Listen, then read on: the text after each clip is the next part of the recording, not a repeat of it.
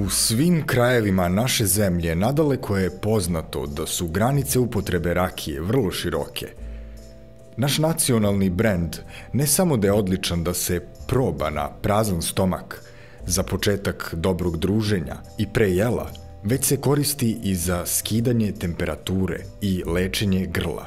A kakvu je primjenu rakija pronašla u drugim balkanskim zemljama – Kao što srpsko stanovništvo ceni rakiju, ovo piće s poštovanjem se konzumira i u Mađarskoj, Rumuniji, Makedoniji i ostalim susednim zemljama. Naziv za rakiju u Mađarskoj je palinka i to je jedno od tri najčuvenijih P u Mađarskoj, pored paprike i ravničarskih predela na istoku zemlje. U Mađarskoj isto važi kao i kod nas – Najkvalitetnija rakija pije se u domaćinstvima koja je s višegodišnjim iskustvom prave.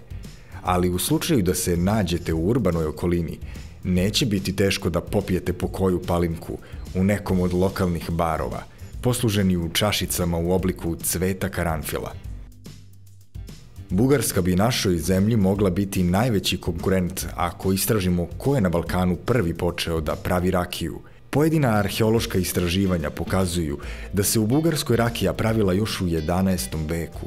Naime, pre nekoliko godina, blizu Ivajlovgrada, arheolozi su pronašli deo suda za destilovanje i procenili da potiče iz 11. veka, što je poljuljalo tvrdnje da ovaj napitak datira iz 14. veka.